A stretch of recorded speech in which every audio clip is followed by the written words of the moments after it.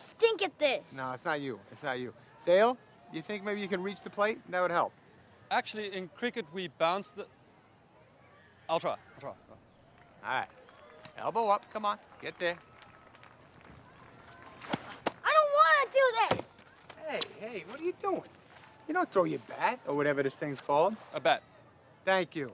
You're an athlete. You're a sportsman. You gotta respect your equipment. Yes, sir. We ain't leaving here till you hit the ball as good as you ride an ostrich. You pick up the bat. Hey, I know you're up there all alone. It's scary. You feel like all the pressure's on you. But guess what? The pressure is on him.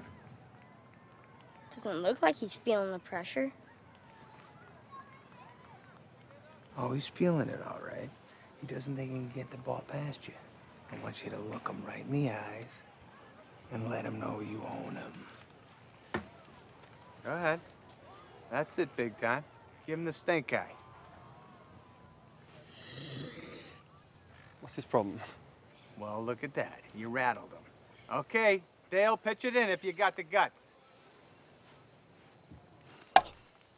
Whoa! Yes! Did you see that? I killed it! Let's do it a hundred more times. If I hit like that, my dad's gonna start coming to my games. What's going on here?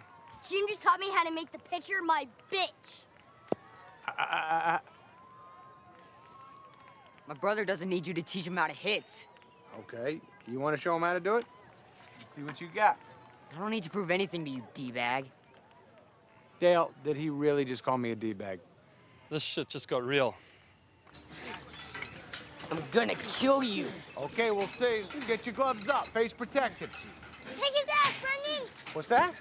Kick his ass, Jim! Uh-huh. Whoa! Whoa, whoa. See, you gotta you gotta look at your target.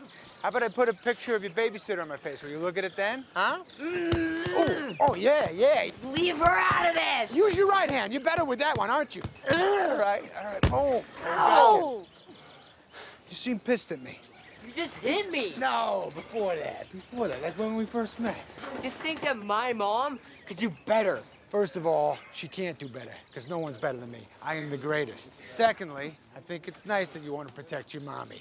Hey, ooh, ooh, whoa, whoa, whoa, whoa. Calm down, calm down. That was good, though.